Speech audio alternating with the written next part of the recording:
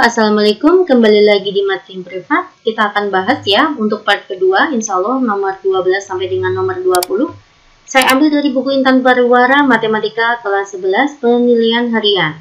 Bab turunan ya ini ya. Diketahui fx sama dengan x pangkat 3 min 15x kuadrat plus 63x min 90. Absis titik-titik stasioner fungsi f adalah ditanya titik stasioner ya. Syaratnya titik stasioner itu terjadi pada saat f aksen x sama dengan 0. Ya, kita turunkan ya. x pangkat 3 saya turunkan menjadi 3x kuadrat. Ini ya, 2 kalikan min 15, maka min 30x plus 63. Itu sama dengan 0. Begitu ya. Uh, saya bagi berapa? Bagi 3 bisa enggak? Bisa ya. Saya bagi dengan 3, maka menjadi x kuadrat min 10x plus 21 sama dengan 0.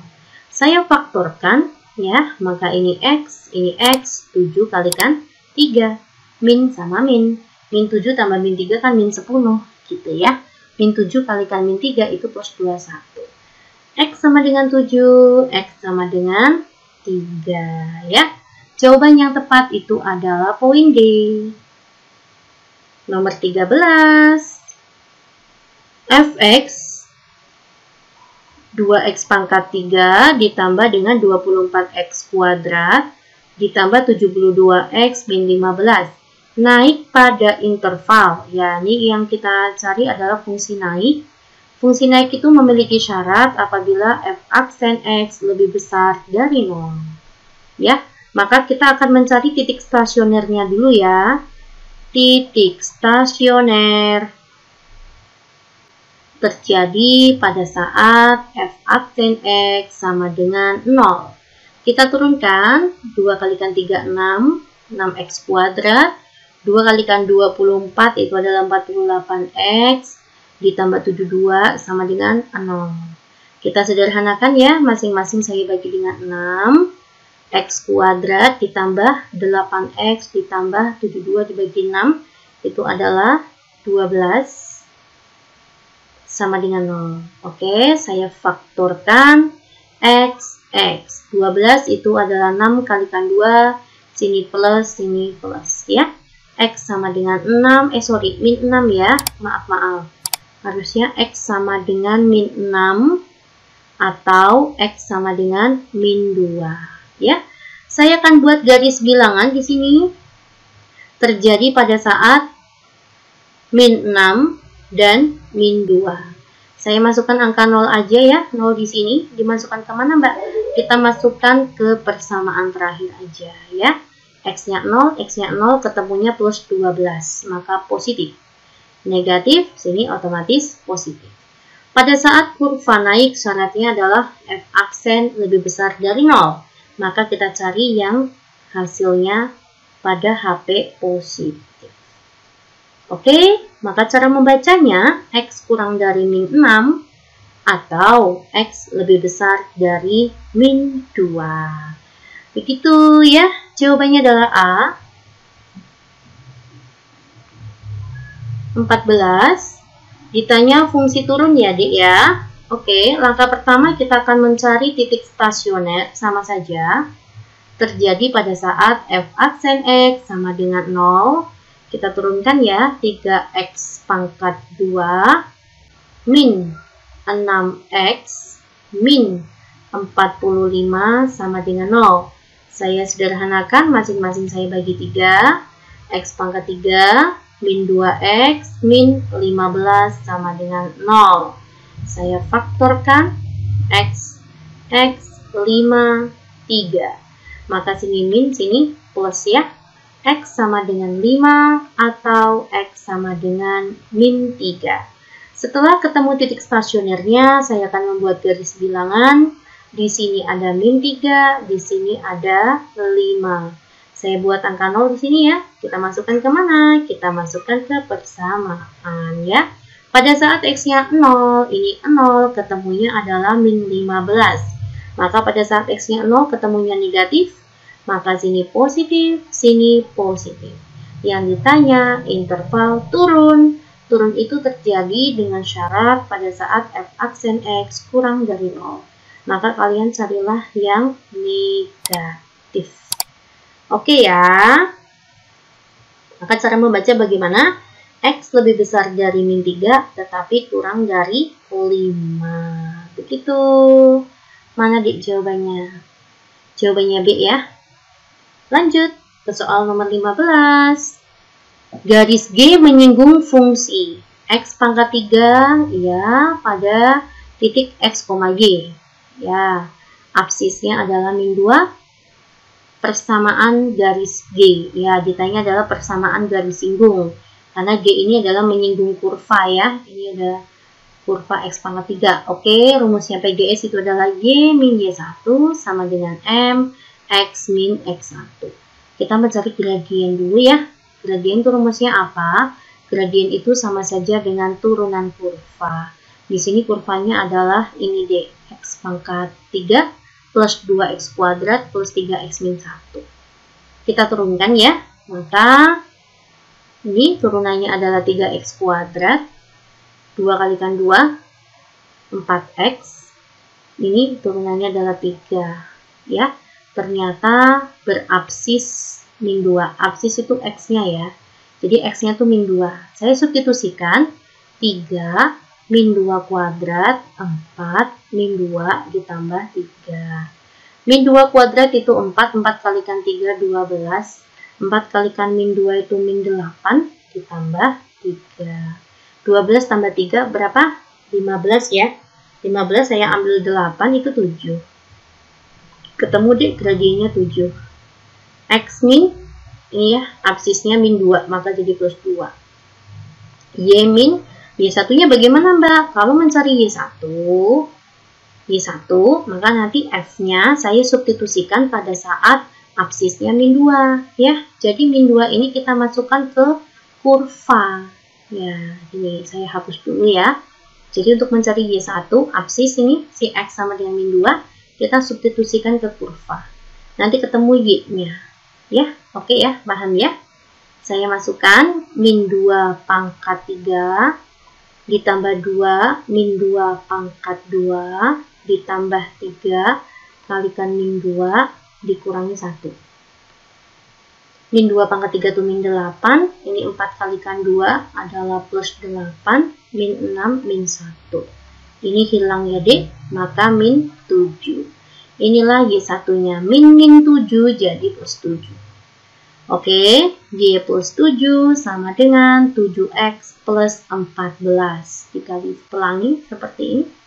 Oke, Y sama dengan 7X, 7-nya ke sana, jadi min 7 plus 7 ya. 14 kurangi 7. 7x plus 7, ada nggak? Ada ya, jawabannya adalah B. Bagaimana adik-adikku semuanya? Paham ya? Silakan kalian ulang kembali. Nomor 16, ditanya persamaan garis normal. Kalau mencari persamaan garis normal, kalian mencari gradien garis singgung dulu. Nanti gradien garis singgung dikali gradien garis normal itu nilainya min 1. Jadi garis normal itu selalu tegak lurus terhadap garis singgung, ya. Sedangkan gradien garis singgung itu turunan kurva. Cara mencarinya ya. Saya turunkan fungsinya 3 kalikan 3 9x kuadrat min 3. Ternyata pada saat absisnya 1. 9 1 kuadrat min 3. 9 kurangi 3 berapa, Dek? 6 ya? Iya. Berarti gradien garis singgungnya itu adalah 6 dikali dengan gradien garis normal sama dengan min 1. Maka gradien garis normal sama dengan min 1 per 6. Begitu ya. X-nya sudah ada mbak, nanti Y1-nya berapa? Sama seperti tadi, kalau mencari Y1 itu sama saja si kurva saya substitusikan terhadap absisnya. Absisnya 1 ya, maka 3, 1 pangkat 3 dikurangi 3 kalikan 1 ditambah 2. 3 min 3 plus 2 ya. Jawabannya 2. Inilah Y1-nya, inilah X1-nya, inilah gradien garis normalnya. Saya akan membuat persamaan garis normalnya. Rumusnya Y min Y1 sama dengan gradien garis normal X min X1. Y min, Y1-nya 2 ya. Gradiennya adalah min seperenam, X, X1-nya 1. Oke, semua saya kali dengan 6, maka menjadi 6Y min 12. Min seperenam, saya kali dengan 6, itu kan sisa min 1. 6 dikali dengan min seperenam, itu kan min 1 ya. Min 1 kalikan X, itu adalah min X. Min 1 kalikan min 1, itu adalah plus 1. Begitu ya guys. Lalu saya pindah ruaskan ke sana X-nya, maka X plus 6Y. Min 12-nya saya pindah ruas, maka menjadi plus 12 ditambah 1, 13. Ya. Inilah PGN-nya, persamaan garis normalnya. Ada, ada ya. Jawabannya B. Silakan kalian ulang kembali jika ada yang terlewat ya. Kita masuk nomor 17. Ditanya titik belok kurva. Kalau mencari titik belok kurva, langkahnya kita mencari titik stasioner ya. Tetapi titik stasioner untuk titik beloknya itu menggunakan F aksen 2-nya, Dek. Nah, kayak gini. Berarti kita turunkan dua kali ya. Saya akan turunkan satu dulu, F aksen X, itu kan berapa, Dek? 4 kalikan 3, 12 ya, 12X kuadrat. 3 kalikan min 8, itu min 24X. Oh, ini S pangkat 3, sorry, sorry. Ini X kuadrat 2 kalikan 6 itu adalah 12x. Lalu f aksen 2-nya 3 kalikan 12 itu adalah 36x kuadrat. Min 2 kalikan min 24 itu adalah 48x plus 12. Inilah f aksen 2-nya ya. Lalu saya akan mencari titik stasionernya. Untuk titik belok loh ya, bukan kurva naik turun ya terjadi pada saat f aksen 2x sama dengan 0. Oke, saya substitusikan f aksen 2-nya 36x kuadrat min 48x plus 12 sama dengan 0. Saya bagi dengan 12 ya, bisa ya. 36 dibagi 12 itu adalah 3. 48 dibagi 12 itu adalah 4 ya. Ini plus 1 sama dengan 0 ya saya fakturkan 3x x 1 1 maka nanti sini min sini min ya. Ya seperti ini.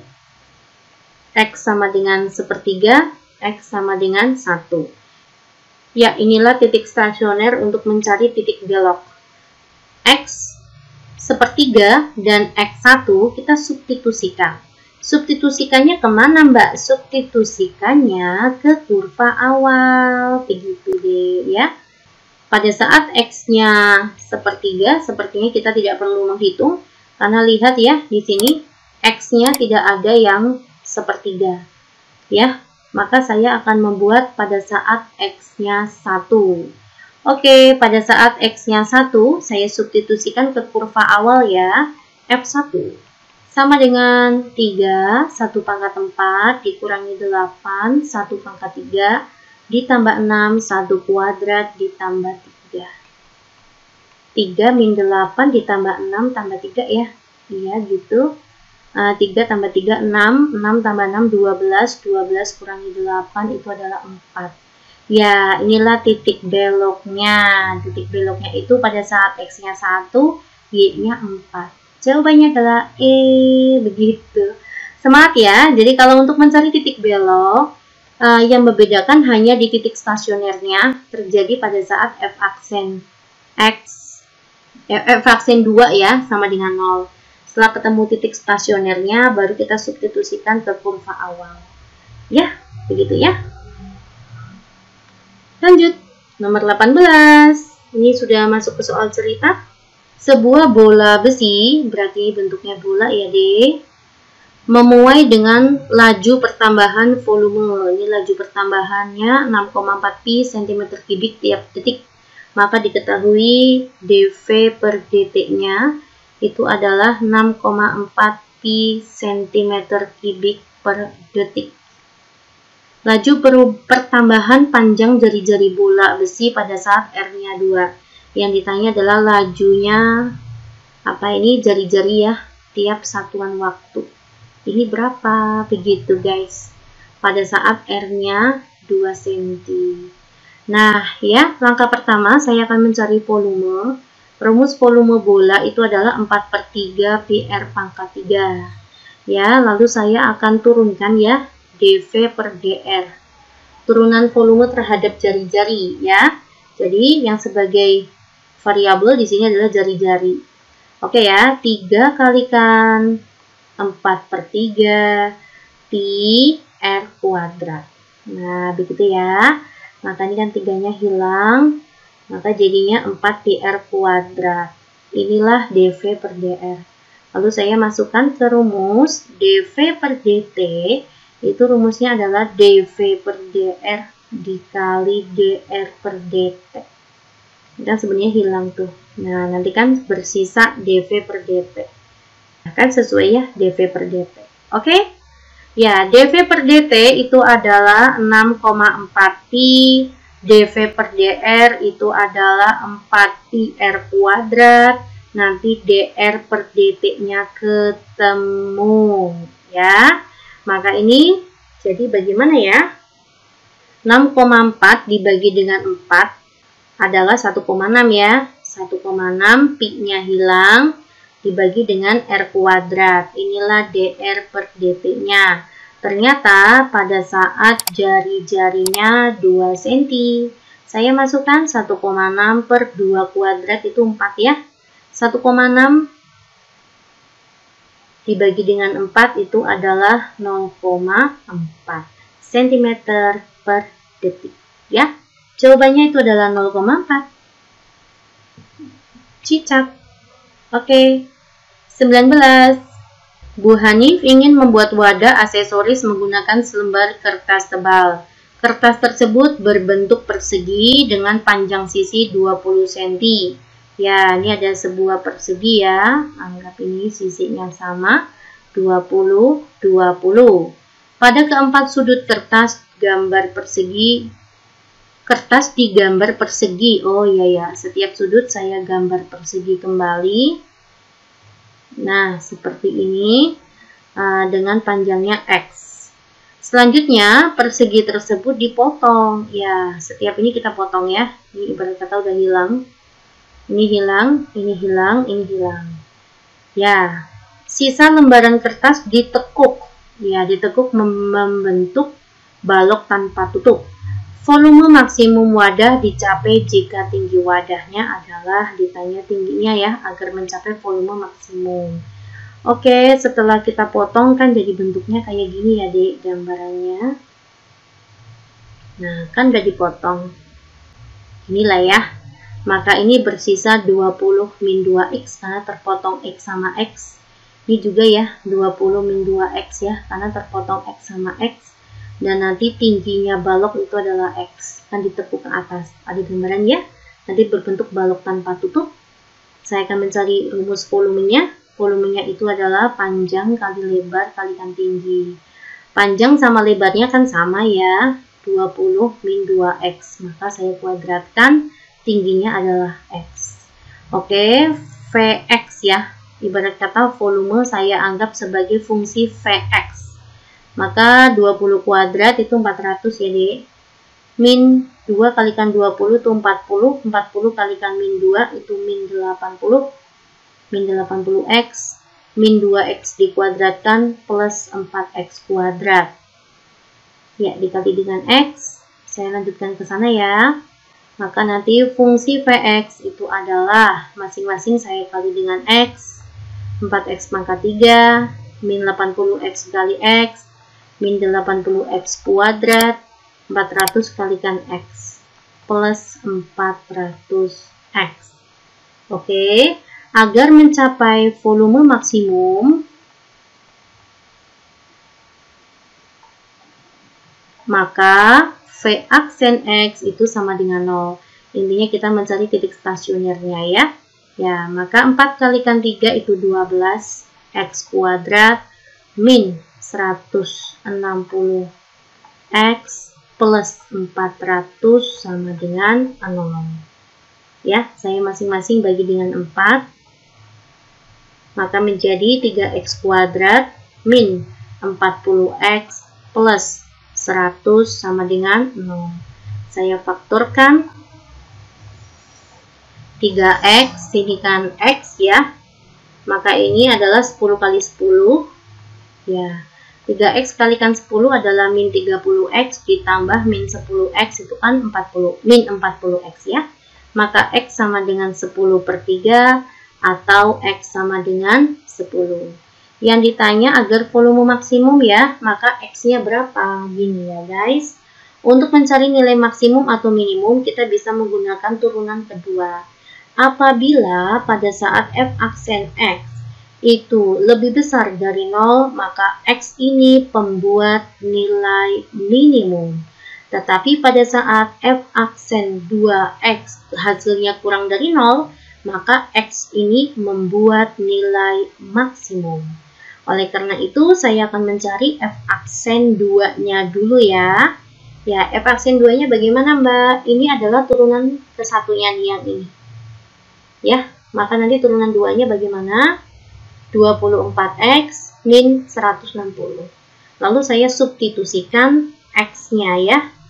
x-nya adalah 10 per 3 dan x-nya itu adalah 10 ya.